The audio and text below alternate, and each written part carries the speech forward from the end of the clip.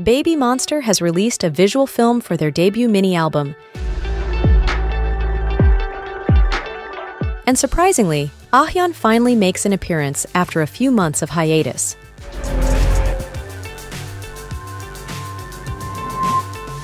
Ahyeon's appearance immediately dismissed rumors from anti-fans who claimed that her hiatus was due to plastic surgery and that she was still recovering when the new YG girl group debuted.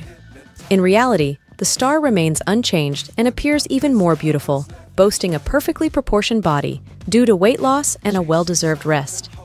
Not only that, in their visual film, YG also gave an Easter egg where Ahyeon is seen wearing a sun necklace symbolizing a new beginning Fans can't wait to see the IT girl of Gen 5 on stage.